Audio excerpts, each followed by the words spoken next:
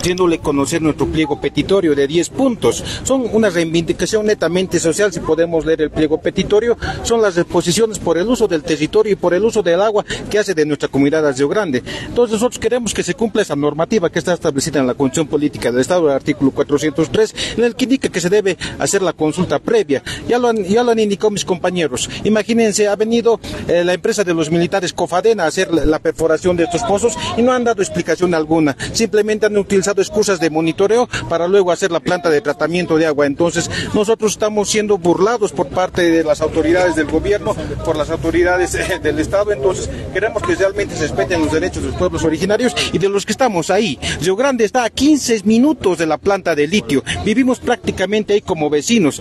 Y entonces queremos por eso que se respete el territorio de las comunidades y queremos que atiendan nuestro pliego petitorio porque la comunidad de Río Grande no va a descansar hasta que se respeten sus derechos.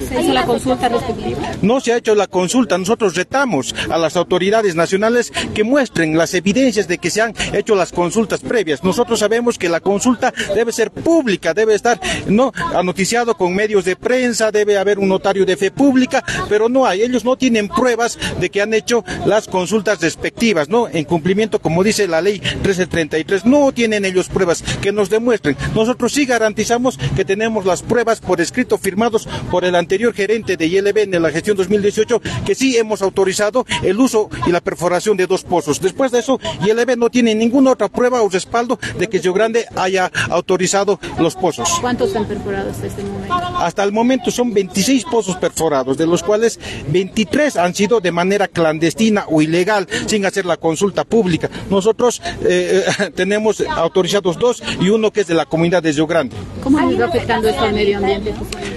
Bueno, aquí está nuestro compañero de la Asociación de Manejadores de Vicuña, pueden ver las imágenes y él les puede explicar que no se han hecho por la sequía que hay en el lugar, no se han hecho las esquilas correspondientes de, no, de, de las vicuñas, entonces la afectación está realmente grave, por eso nosotros invitamos a la prensa para que puedan ver cómo se ha lastimado el paisaje natural que hay en nuestra región.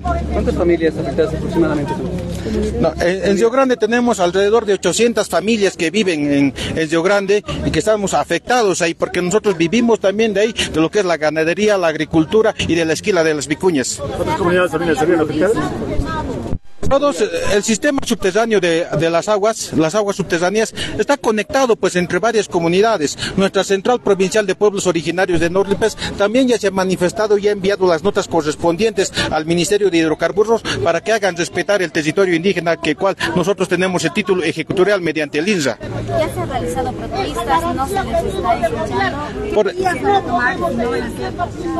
Es nuestro sexto día de, de protesta, la- hemos hecho la toma pacífica, por eso íbamos a seguir nosotros haciendo esta, esta toma pacífica y no descartamos el bloqueo de caminos hasta que seamos atendidos. ¿Qué le piden al gobierno que tiene de inmediato su demanda? Sí, yo creo que ahora ya es la hora de pedir la renuncia de la presidenta de ILB para que poder negociar con una persona que realmente tenga la capacidad de atender este pliego petitorio de la reivindicación social de Río Grande.